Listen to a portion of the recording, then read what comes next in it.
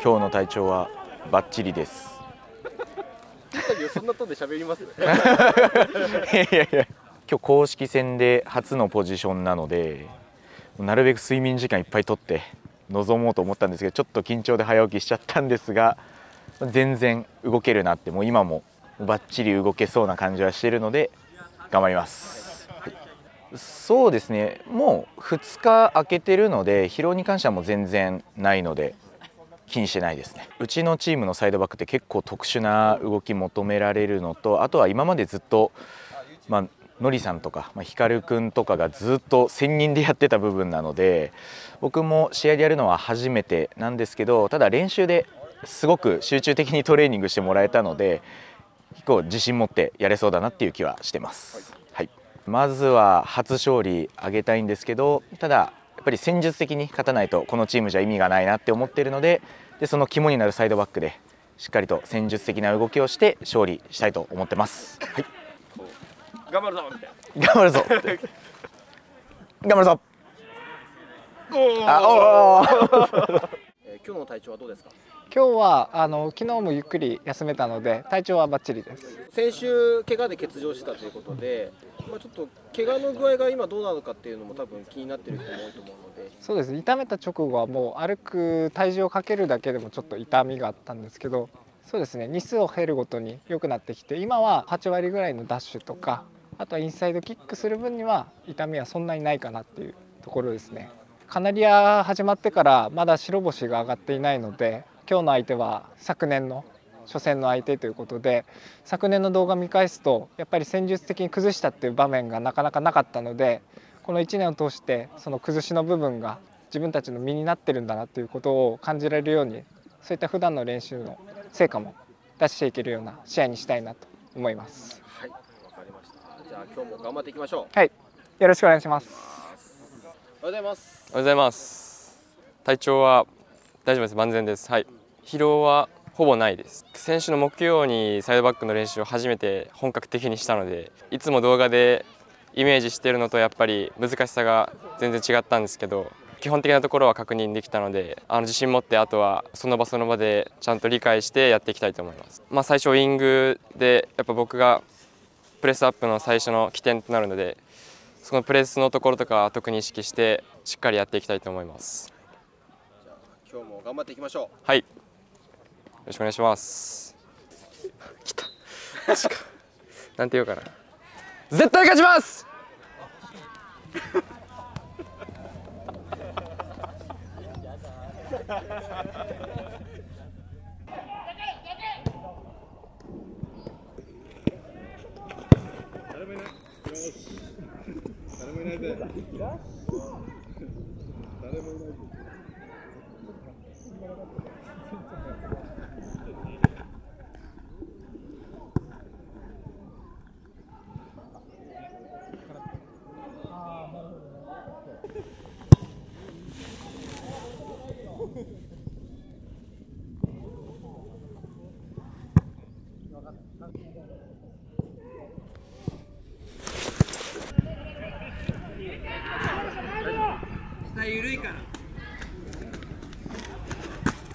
じゃあヨーロッパリーグ終わったな。ホームで0-3じゃ。いやいや、劇的な展開を作るための。アンフィールドであれじゃダメだよ。アンフィールドホームで。アウェーで0-3ならまだアンフィールド望みあるけどさ。アンフィールドでそれはもうやったんです。相手あいよ。アウェーで？アウェーで。いやー厳しいと思うぞ。テーマとしてはプレスのところ、まあ、特にトランジションプレスもそうだし、相手が442って予想されるのであればセットプレス。というところがやっぱキーになると思うからプレスからの得点っていうのが取れるとよりいいかな。やっぱりもう一個あればやっぱビルドのところであるやっぱりその442とか4231になった時にしっかりツーセンターが運んで積極的に運んでで、P に空いた P。シゲのところが開くんだったら、シゲのところを使って、使っていくことによって、今度バイタルのところが開いてくるってことになると思うから、でコンパクトであるならば、広げる作業をしっかりしなきゃいけないし、ラインが高いのであれば、高いラインを使っていく。フィールドが一番大事なところになってくるか？ら、この部分をしっかり積極的にチャレンジして。じゃあ、頑張っていきましょう。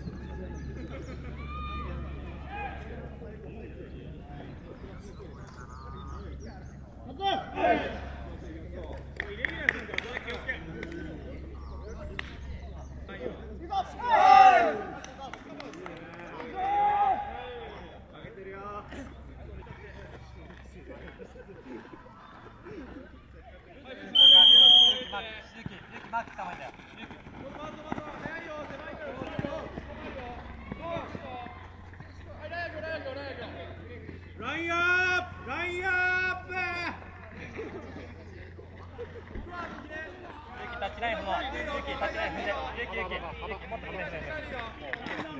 だんだん出ていくよう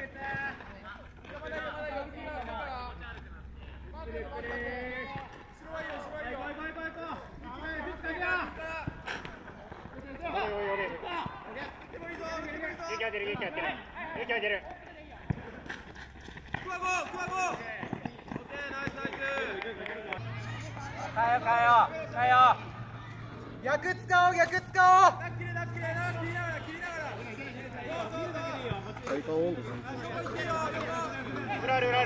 簡単に簡単に。サイド出てきたからそ下げようそうナイス。ケ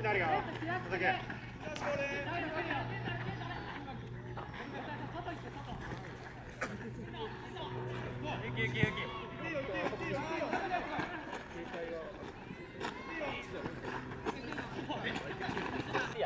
先倒这个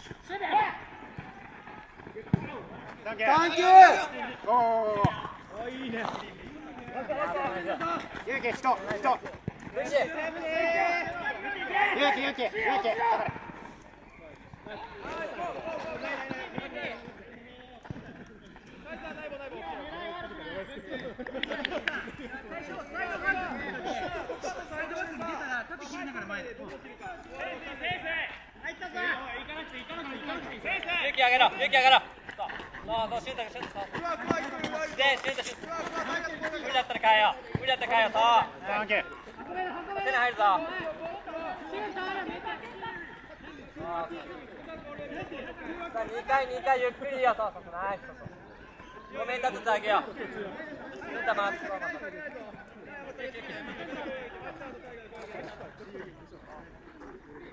出。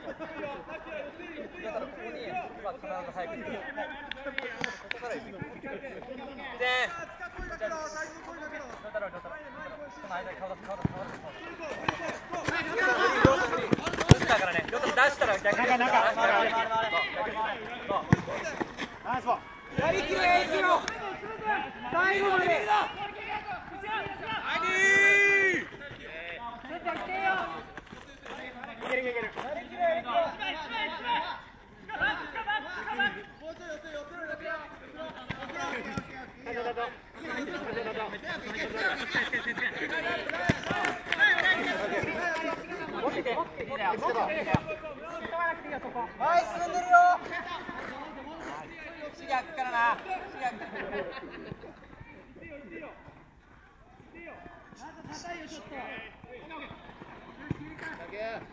回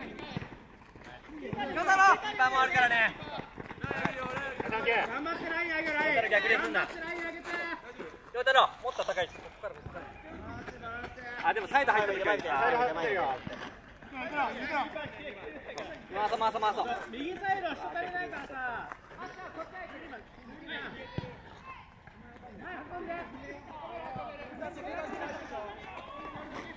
シュター回してるぞ、亮太郎。そこに早く帰ろう全シュート入る。裏ある。よ空いてる。ラインずれてる。よ相手ラインずれてる。よこれ裏狙わ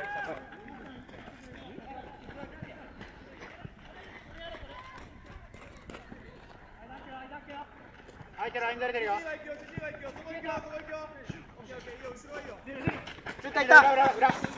はい。もう少し。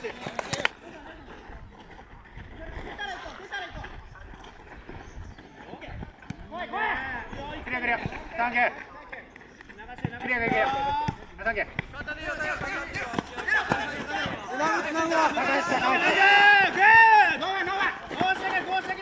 逆使おう逆使おうケントケント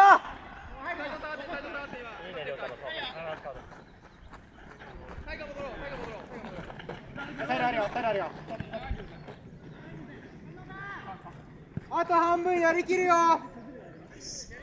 疲れたの中であのそうそうそうそうそうそうそうそうそうそう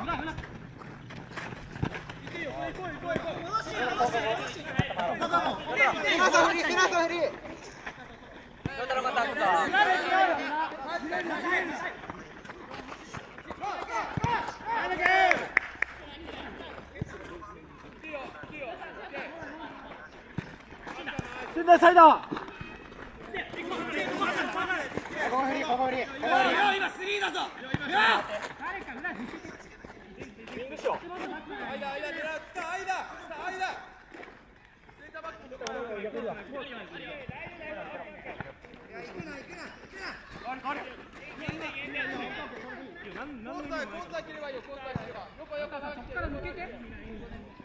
また抜けろりょうさんナよんいんい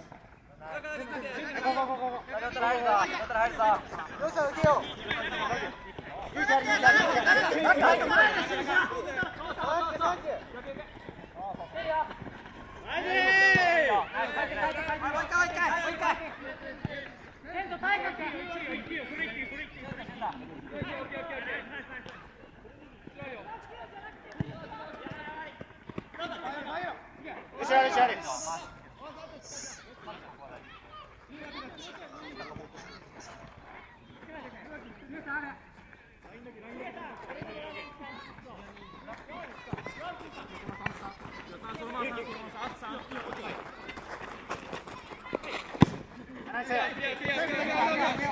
Agak makro.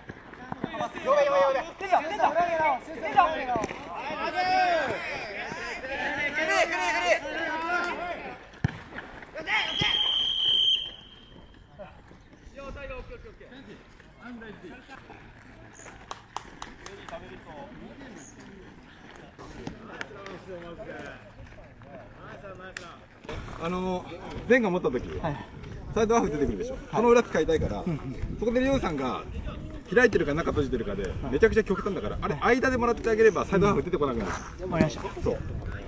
一回あそこつけて、サイドハーフもう一回戻させて、センターバックにスペース開けてあげないと、ずっとサイドハーフ出てきてるじゃん。そう。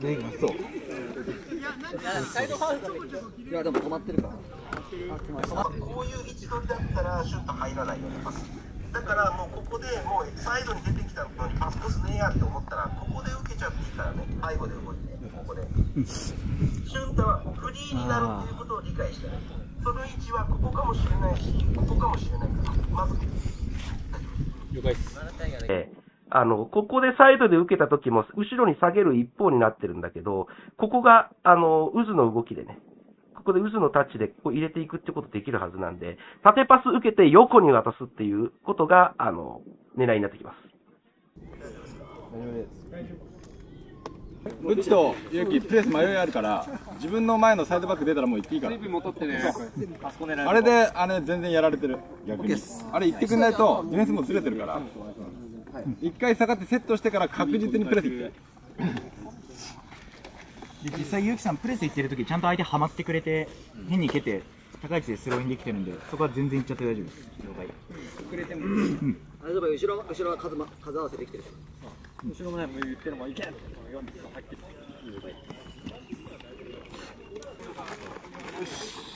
走るよ前走るよ結構ね、ゴンさんね、深さのこと言ってるから、前ちょっとまだ深くない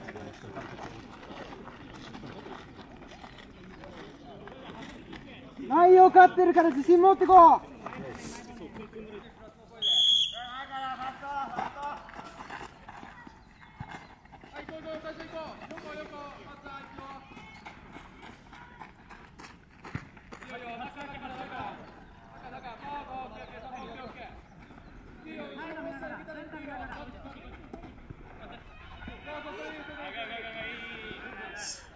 流れも呼ぼう。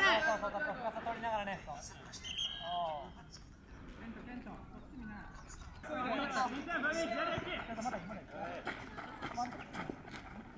バイタルね、カツオの位置見よう。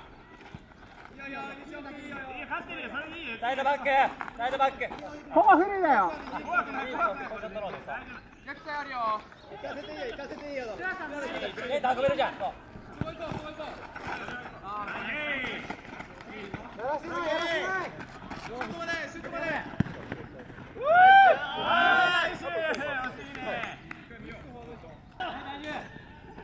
いや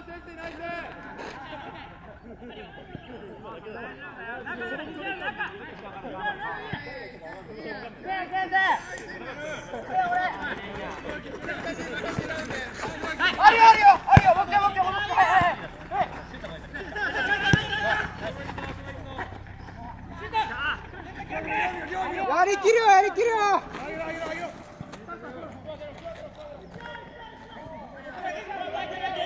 カツオ背中だけ気にしといて。い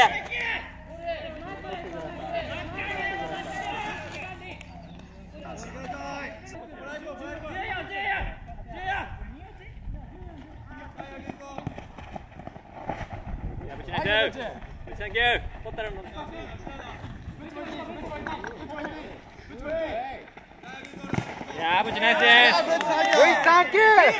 す。走走走走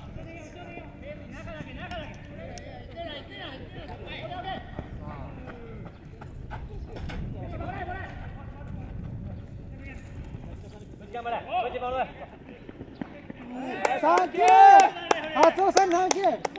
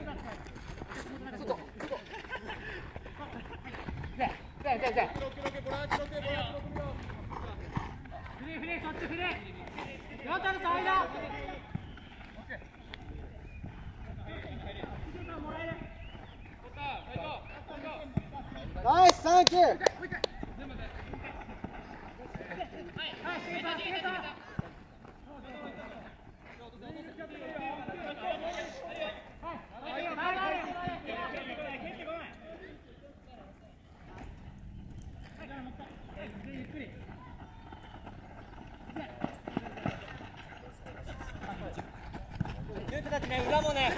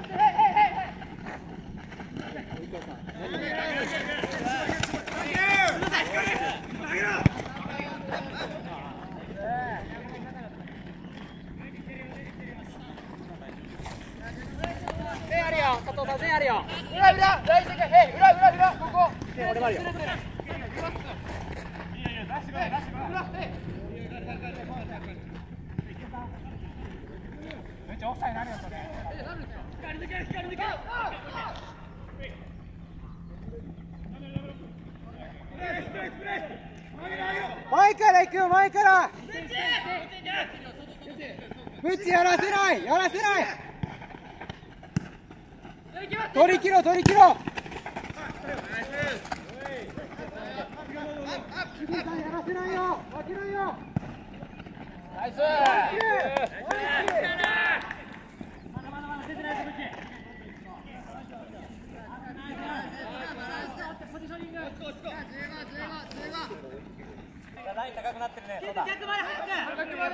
逆使おう逆使おう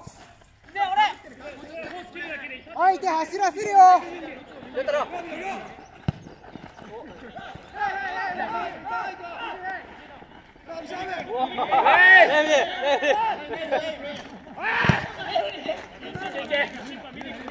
最後までやりきるよ。上になるまで切らないよ。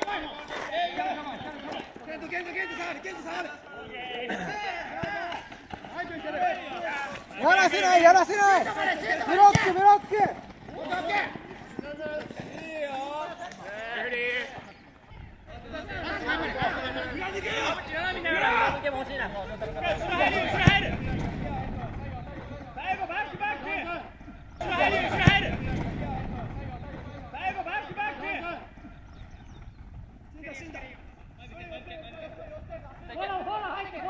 右ヘリ右ヘリ空いてるよ。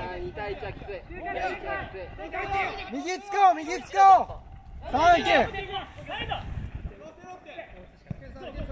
打ち切ろう打ち切ろう。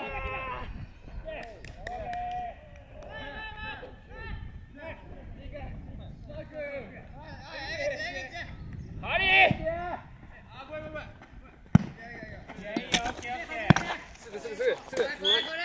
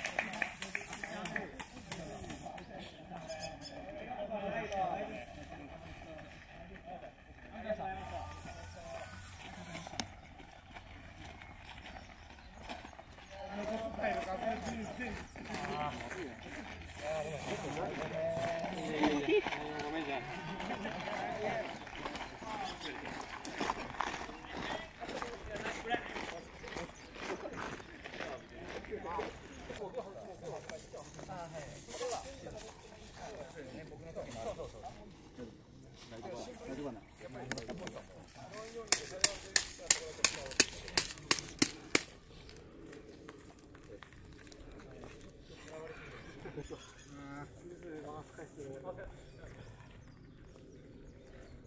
ざいます。頑張って。あ、いやいや。あ、乗った。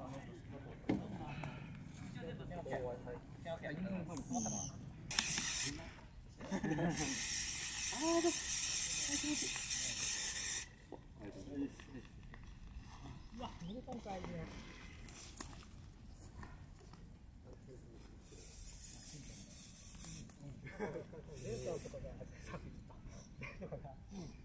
なんかさ、あの、高い位置取ってた時さ、もうここについてたんだよね、相手が。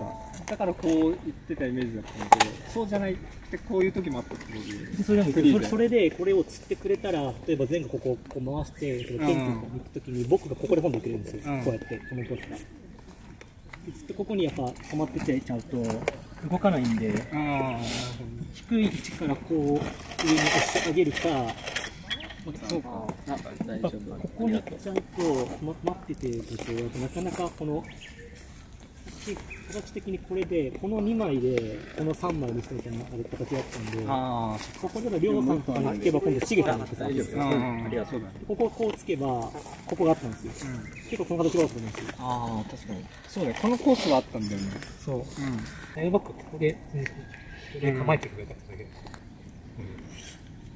このゲートああ、そういうこと。こうもらってこうとか、うんこれが別に中がすごい来たらそうそうそう、うん。で絞ってれば別にダイレクトであのサイドに人が出せるし、うん。出し入れして、ポジション直してあげればよかった。後半は結構疲れてたから初期位置低めだったけど前半は結構高めだった気がする。イメージ的に。ちょっといろん。なパターン陽太郎！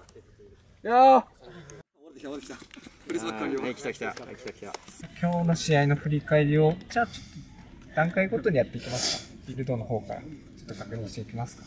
相手のサイドハーフが、まあ、うちのサイドセンターが運ぶドリブルのコース消しに来てたんで、前半。まあそこを、まあ、今度こっちはダイヤのビルドをするってことで、まあ、そこ回避できてたので、うんプレスを回避した後のビルドからフィニッシュに向かう形を、ここから練習していければ、もっとうまくできたと思います。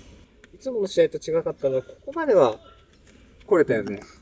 押し込むところまでここまではいけた。うん。前だともう、このここに相手をハーフコートに押し込むまでがいけなかったけど、今日一番大きかったのは、まずそこの押し込むところまではできたっていうところだよね。結構何回もあったと。うん。そう。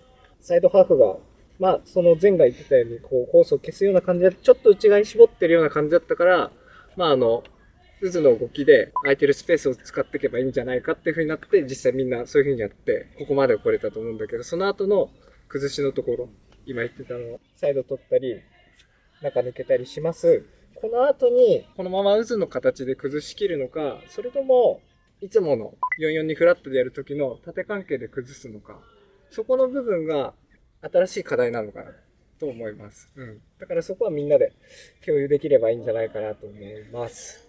で、渦って基本サイドが高い位置取って、中盤の人が、中に絞ってる人が低い位置にいなきゃいけないんだけど、このコースがね、あったりするから。でも、ちょっと俺のポジションが高かったりとかして、前からのコースが、パスをなかなかこう、受けれなかった。で、何本か、ここの空いてるところで受けれたんだよね。このスペースのところで。受けれたんだけど、ここで持っちゃって、こう圧縮してきて、失っちゃうとか。そういう場面があったから、この時どうすればいいか聞いたら、相方が上がってきてるか、もうすでにいるはずだから、そこに、まあワンタッチとか、ちょっと持って、こう落とせれば、運んでいけたんじゃないかなっていうところがあったから、フラットでのこう、受けるっていうところがね、今までなかったから、それも渦入る人は意識してやっていけるといいんじゃないかなと思います。で、良太郎のところとかは受けた後ね、中に入ったりとか、できてたよね。渦回してたら、普通にしげさん空いてるとか、あって、あ、これ回さなくてよかったな、中に入ってった方がいいなとかってなった時に、ちょっと俊太と場所かぶっちゃうとかもあって、こうやって、なんか絞った時に、俊太もまだここの辺にいたりした時に、かぶっちゃうみたいなで、戻るのは逆流になってしまうからなしかとか、なんかずっと一人で、ごちゃごちゃちょっと考えてて、その、渦回してたんだけど、今そこでいいよ、みたいな時に、逆流はしないのセオリーを守ろうとすると、被ってしまった時にもう止まっちゃった。ら、だったら俊太がもうこれ行っちゃった方がいいのか。でも、今フラットの動きで行くんだったら、こう縦関係で行かないとだから、本当はこう、こうだよな、とか。それもさっきの話と近いよね。渦で回してるけど途中、なんか例えば、こう絞ってたと思ったけど、なんか広がったりして、あ、ここのスペースで受けれるな、とかってなった時ってことだよね。そうです。こ、ここに待ってればいい。っうんうん。てことですかね。うん。ついてくるんだったら、こうしてここが開くし、うんこうだったら、こうして、リターンしてるし。切り替わった時に渦のままにするのか、それとも近い人がその連携みたいな形で。やるのかっていうところだね。なんかそれだね、大きいのはね。うん。それこそ失点シーンのところとか、多分俺が戻ってなかったスペースで4番がミドルシュート打ったんだよね。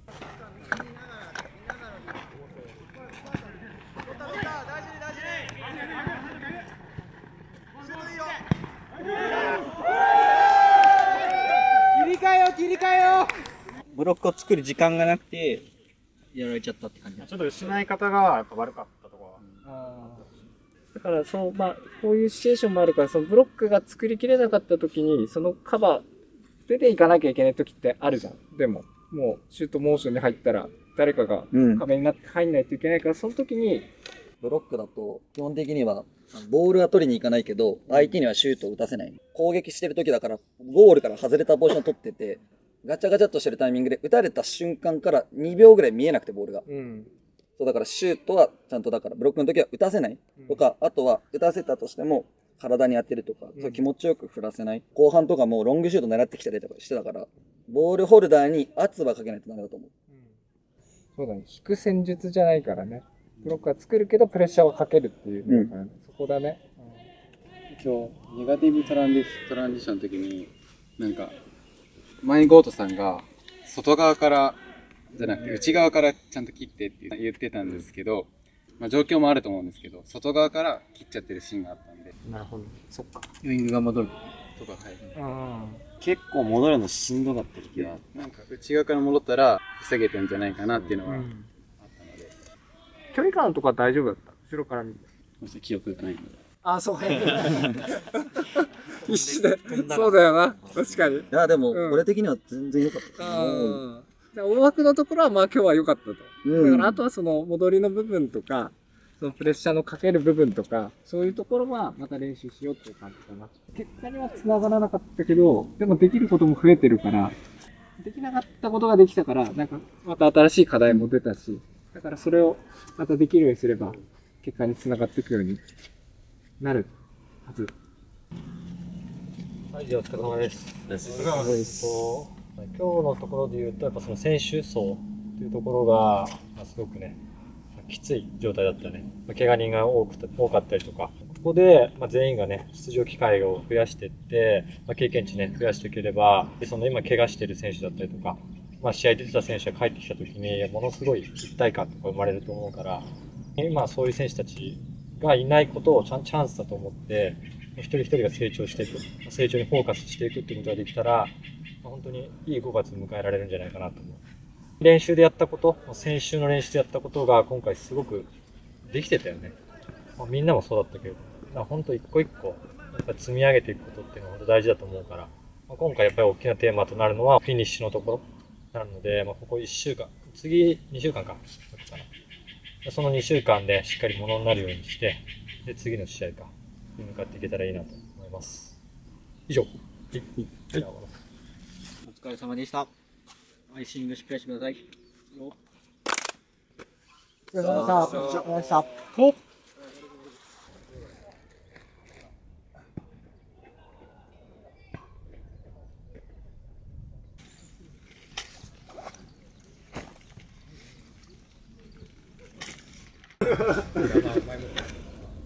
カラス？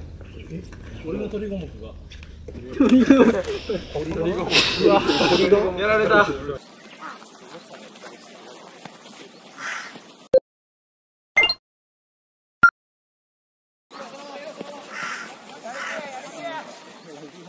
やられた。これ俺のかじゃあ。えこれはあ OK です。いいです。いいです。もう好きなタイミングで。わかりました頑張ります。応援よろしくお願いします。